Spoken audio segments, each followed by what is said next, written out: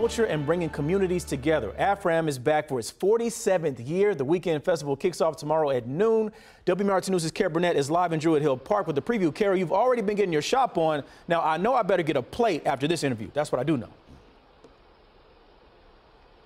Uh-oh, mm-hmm. Randall is asking about a plate. Well, we are turning up the heat this weekend, and we're not just talking about the temperature because AFRAM is back, of course, with incredible performances, but we have to dig into this food. Joining me now is Lakeisha. So tell me a little bit about your business, because I know it's a blend of a couple different cultures. So it's Caribbean food and soul food mm. is a mix. Um, we started in 2010.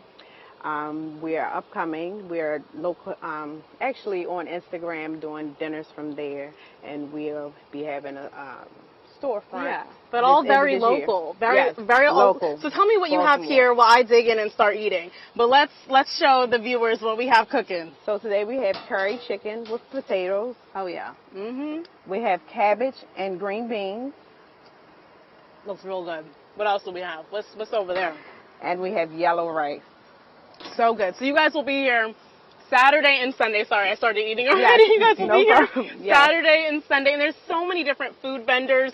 Why is it so important just for you guys to have this exposure and to connect with people in the community? It's to show different food tasted, yeah. taste, um, flavors. And where's um, your family from? We're from Baltimore, Maryland. Um, I do have friends from Trinidad and Jamaica that showed me and my son, Delonte, the culture of both sides. Yes. So. so. just amplifying, of course, the best of Baltimore, yes. but so many other cultures.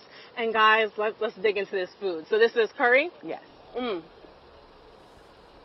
That looks good. Oh yeah. It does look good. Mm-hmm. mm-hmm. Mm. Kara, bring some. I might need a couple more scoops. Yeah, it looks good enough for the road. Back. and we need a plate for for Randall and Stevie. That's right. That's right. No problem. I'll send this back to you guys.